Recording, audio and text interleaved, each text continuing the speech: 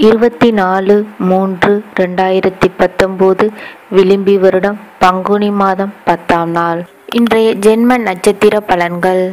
அஸ்வினி பெரியவர்களுடன் சச்சரவு உண்டாகும். பரணி தொழிலில் லாபம் அதிகரிக்கும். கார்த்திகை உத்தியோகத்தில் கவனம் தேவை. ரோஹிணி எல்லா செயல்களும் வெற்றியடையும். மிருகஷீரிடம் ஆலய தரிசனம் சிறப்பை தரும். திருவாதிரை பூர்வீக சொத்து மூலம் பணவரவு உண்டாகும். புனர்பூசம் மனதில் சஞ்சலம் அதிகரிக்கும். பூசம் வெளியூர் பயணம் செல்வீர்கள்.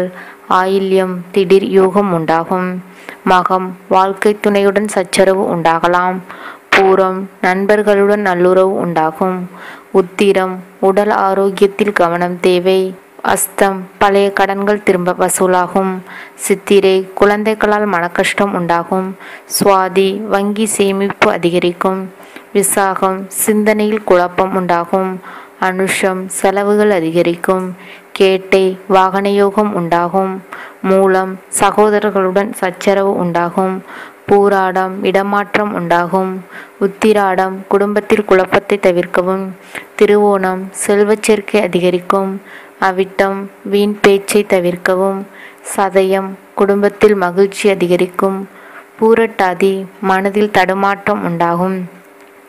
உத்திரட்டாதி அலைச்சல் அதிகரிக்கும் ரேவதி முதலீடுகள் அதிகரிக்கும்.